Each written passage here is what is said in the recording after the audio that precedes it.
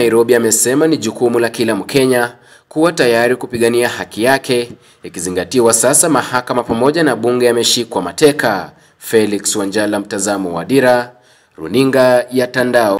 Gavana wa Siaya James Orengo amekosoa hatua ya serikali kuwatafutia Wakenya nafasi za ajira katika mataifa ya ughaibuni, akieleza kuwa hiyo ni, hiyo, si, hiyo ni sawa na kuwatuma Wakenya katika utumwa, wakati serikali ina jukumu la kubuni nafasi za kazi humu nchini.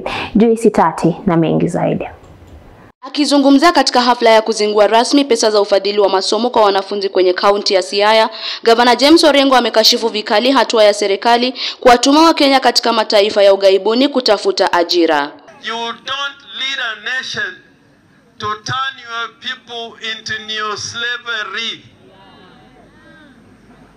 Organizing Kenyans to go and work abroad as cheap labor is like neo slavery. Is reverse slavery. That is modern slavery. Kulingana na takwimu, zaidi ya Wakenya 1535 wanakadiriwa kuishi ughaibuni, wengi wao wakiwa Marekani na Uingereza, idadi ya waliohama kutoka Kenya ikiongezeka hatua kwa hatua kwa miaka ishirini iliyopita. So we want jobs to be created here in Kenya by proper investment in Kenya. People would get jobs here in Kenya.